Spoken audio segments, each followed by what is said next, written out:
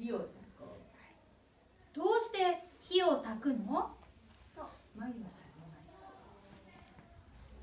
今日はちと寒い近くに生えていた太い松の木を一本めきめきと根っこから。こ抜いてしまいました最強じゃん。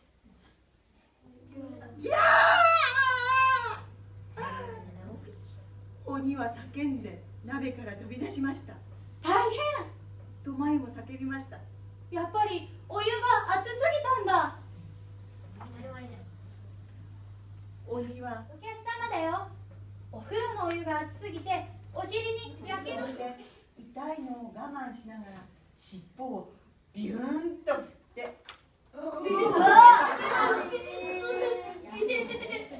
まそうは何も知らずに夢中で草を食べるワンパンチで飛んだバイキンマンみたい草を食べ終えるあらみんなきしめんって何わかんない。きしめんって。わかんないわかんない。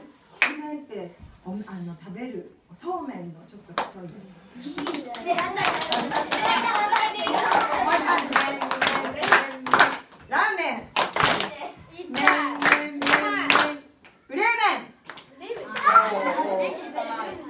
ありがとうございました。